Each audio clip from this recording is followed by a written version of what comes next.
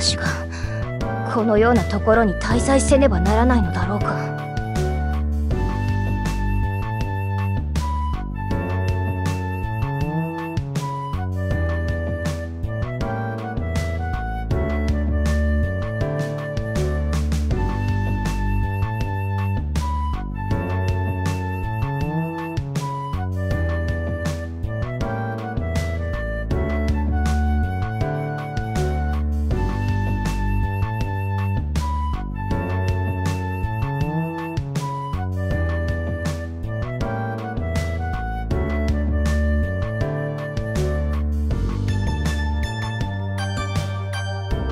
謹慎任務。何を言っているのか自分でもわからなくなるな。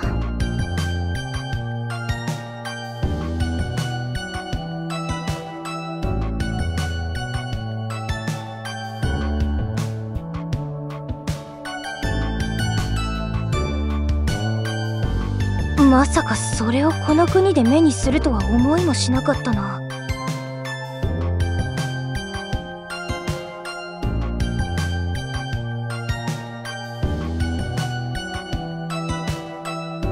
少なく偏った品揃え。愛想のない店員。日が暮れると一斉に店が閉まる我が国とは比べ物にならない便利さだ。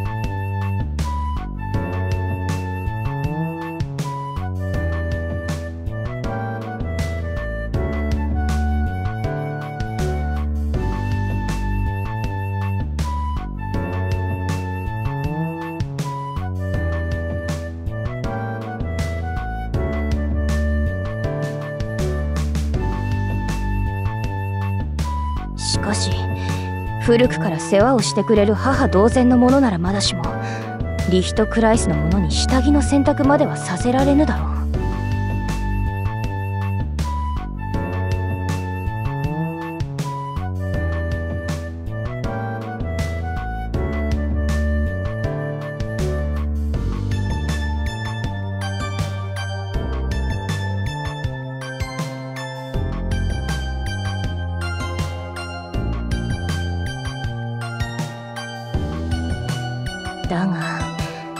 料理関係だけは無理そうだ。今は不慣れなだけでそそのうちできるようになるだろう。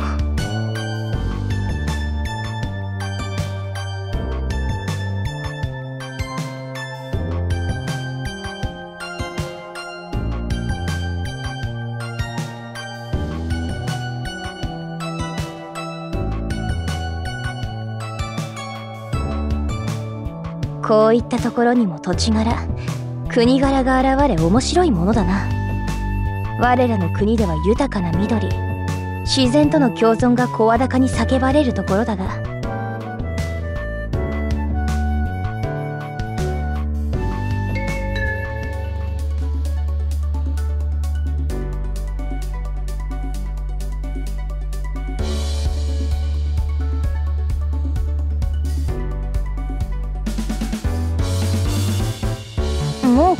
んか朝というのは慌ただしいものだな。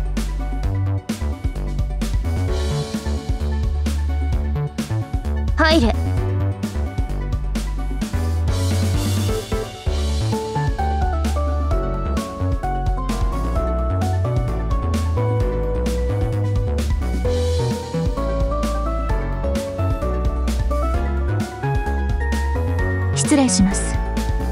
おはようございます。エリカ様。本日も登校のお時間お迎えに上がりました。ああ分かっている。ん今日は一人か。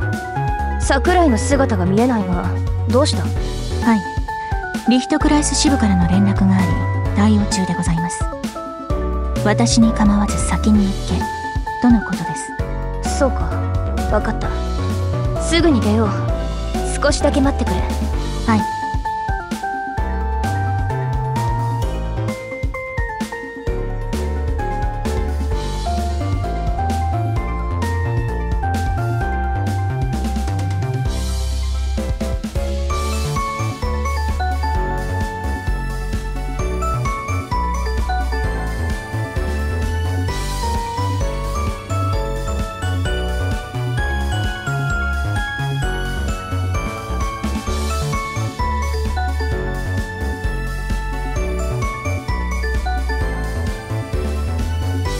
ひとまとめにインバースといっても幅は広い。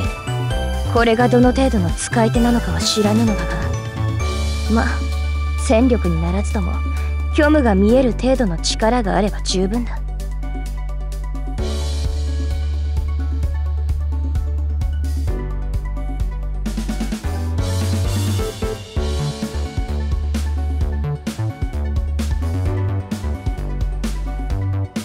朝の支度。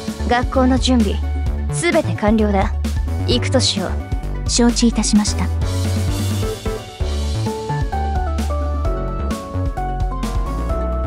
どうだ村山？問題ないか？はい。問題ございません。高速通りの身だしなみです。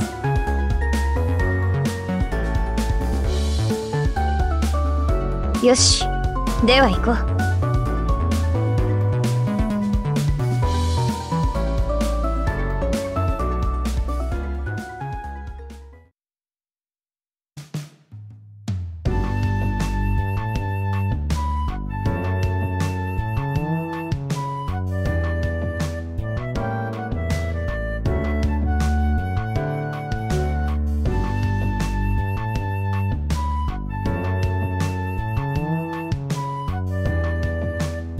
ごきげんよう。今日もいい天気ですわね。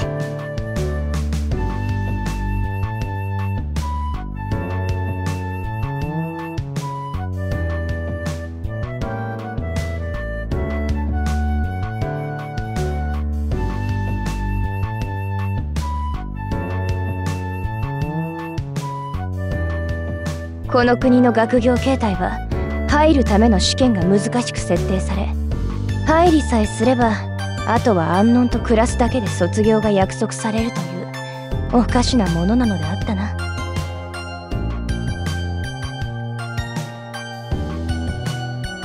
あらエリカさん。朝からご機嫌斜めな様子。何か嫌なことでもありまして？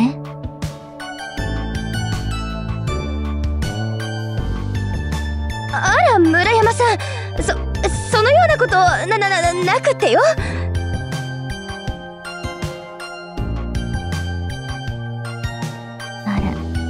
それでしたら良いのだけど。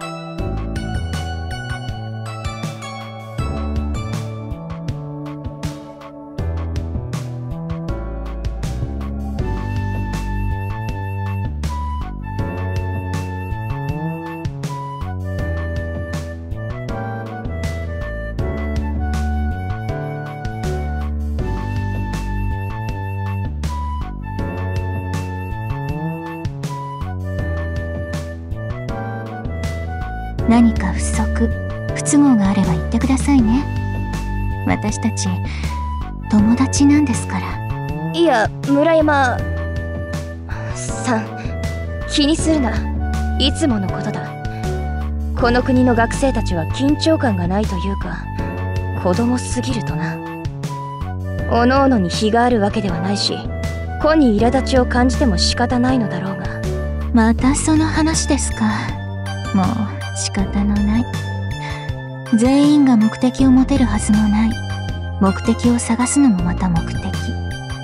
それが子供というものであり学校というものでもあります。考えに遊びがないというのだろ分かってはいるのだがな。勉強など緩慢にしても面白くもなかろうに。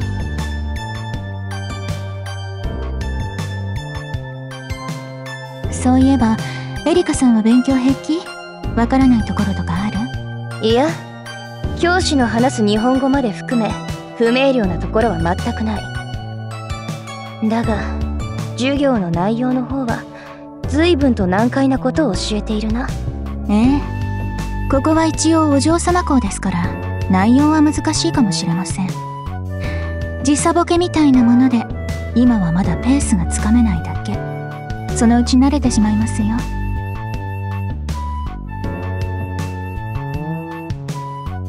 やはりダメだなこの国。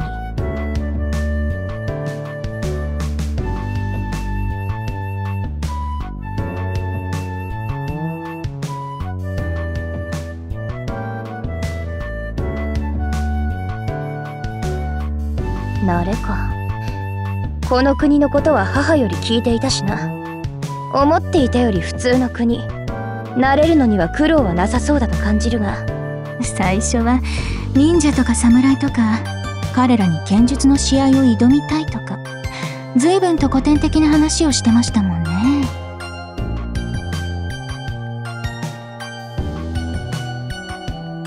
そそれは私にもあった幼い頃の話だと言っただろう。えいもう笑うなこの無礼者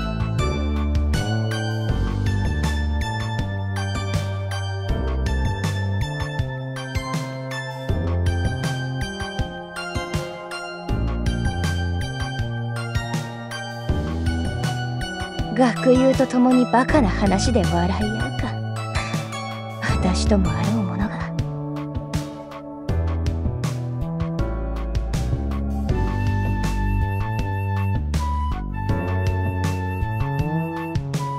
リヒトクライスの剣冷酷な虚無狩り地獄の豪華まといし死神。数々の戦名を受けた者が日の下で学生ごっこなど滑稽であろうな。恥ずかしめを受けているようでもある。この国でいう罰ゲームというやつだ。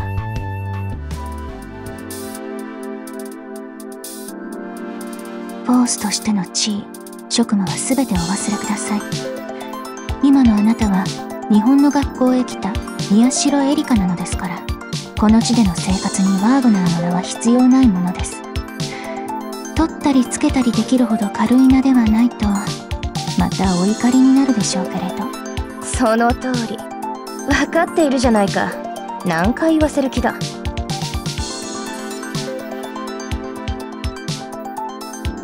私にその名を譲ったおばあ様。その期待と信頼に背くことなどあってはならないのだ。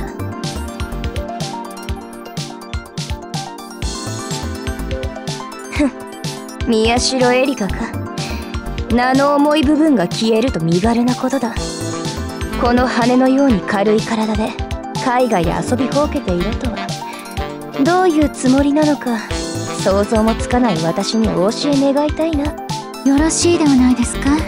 事情は人それぞれ。エリカさんは何事も真剣に考えすぎなんですよ。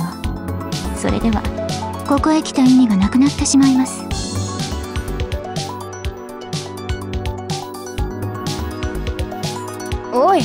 話はまだ終わって。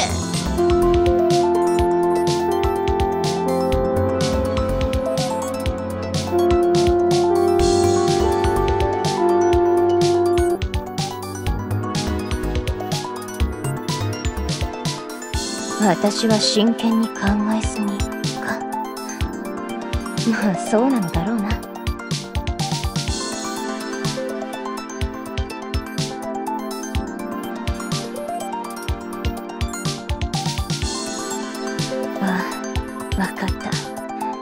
これが真剣に考えすぎということなのだろう。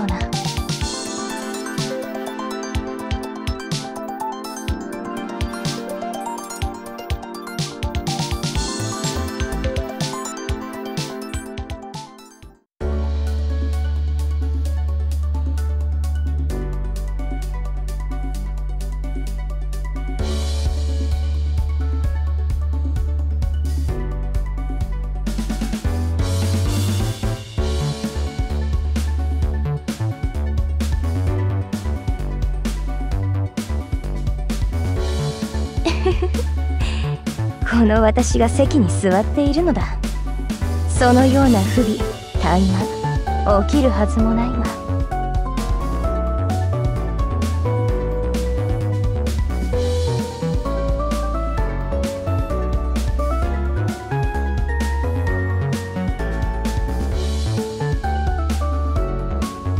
が私も私でこの退屈を楽しませてもらうさ。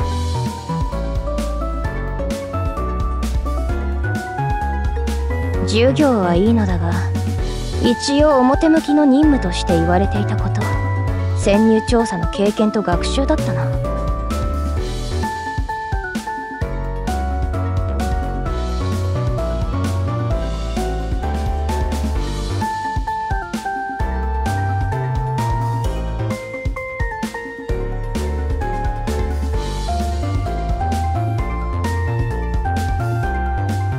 そのようなスキルに長けた家筋であれば長年降臨の剣などという大役は任されないだろうよ。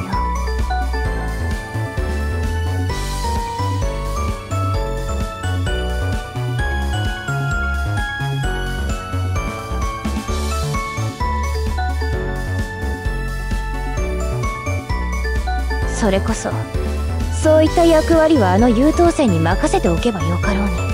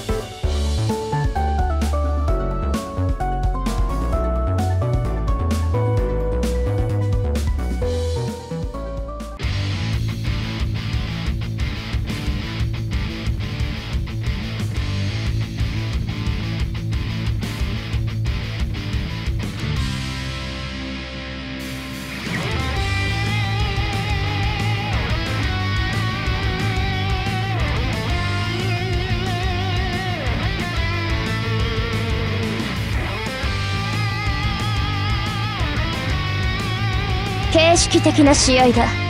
手は抜かぬがとどめも刺さぬ。安心しろ。それと余計なことを考えわざと負けようなどとは思わないことだ。ええ望むところです。わざと負けるのを封じられちゃったのは痛いけどね。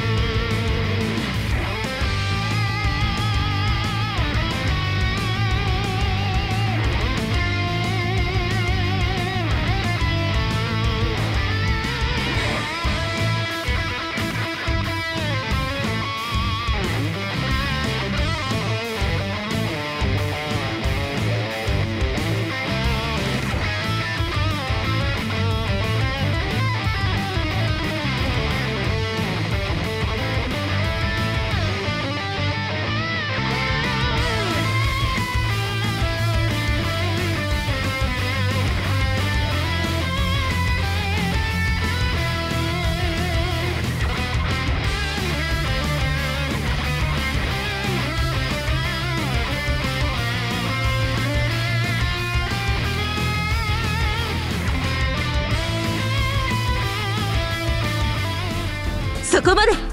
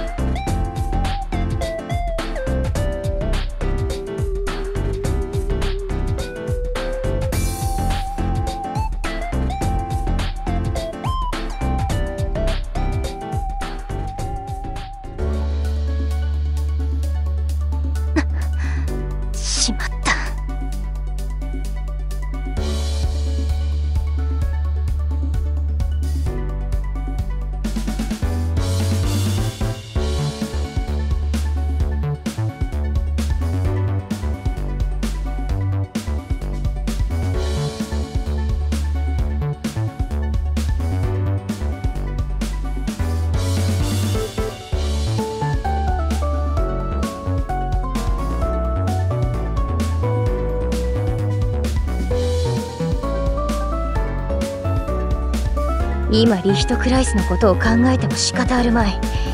武器も取り上げられ監視がつき他の執行官もいる現状。私が手を下す事案などありはしないのだからな。さっきの村山の通り真剣に考えすぎなんだ。束の間の平和学生の身分を謳歌させてもらおう。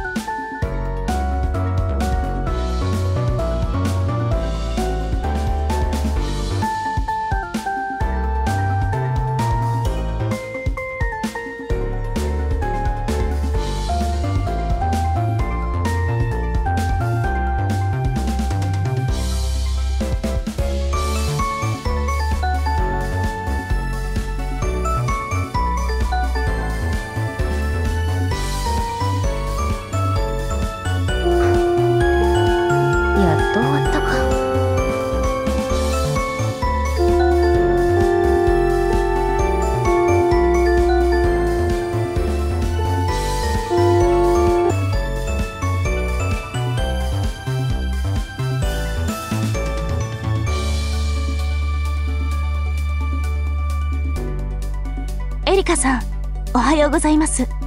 今朝は一緒に登校できず残念です。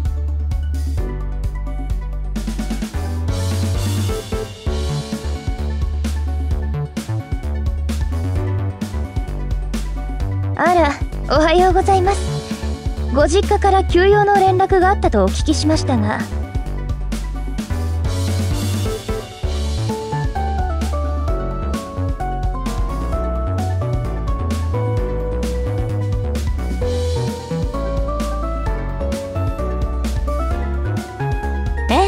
そうです。おじい様から急遽連絡がありまして愛犬のエリザベスが新しいおもちゃをいただいた。とかで。そうですか。さぞ喜ばしい出来事だったのでしょうね。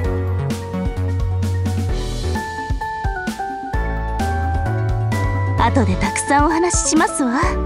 それはもうたくさん。新しいおもちゃか今朝の連絡は新しいミッションの話であるようだな。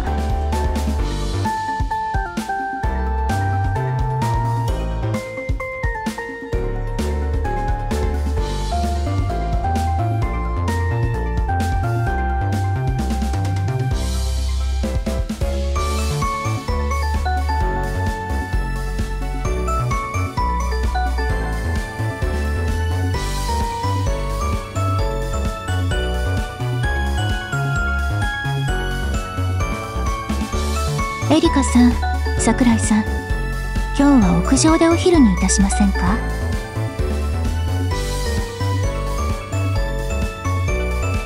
ええそうしましょう。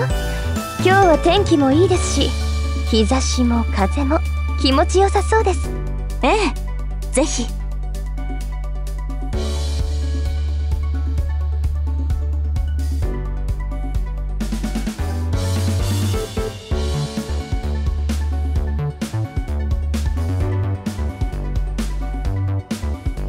新しいミッションか。一体どのようなこと？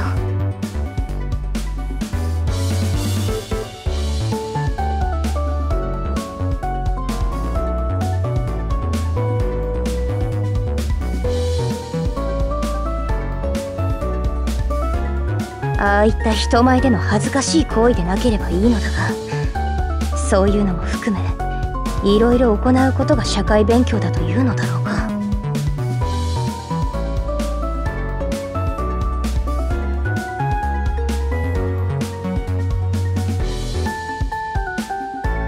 ではなくペンを振るうのもたまには楽しい。はずもないか。対面上の問題。恥ずかしくない程度に勉学に勤しむほかあるまい。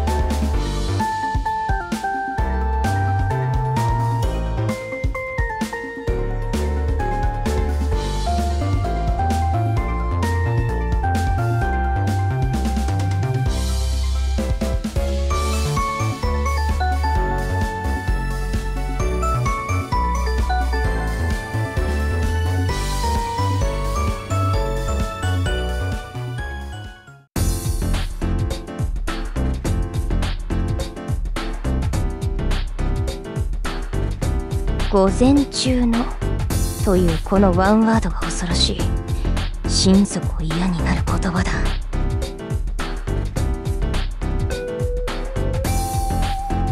相変わらずだ。学業はおおむね高レベルだと言える。しかし教え方が確一的で聞いてる分には退屈としか言いようがない。教科書を読み上げているだけなら自習と変わらないからな。文章を書いた者の心情などわかるはずもないことを理解させようとする。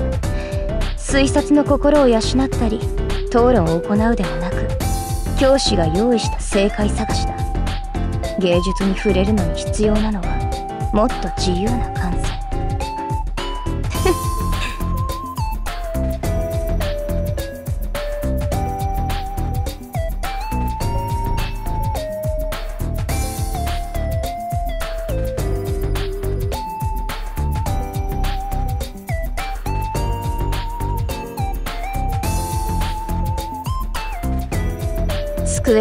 っての勉強なら討伐任務と違って命の危険もない。実に楽なものだ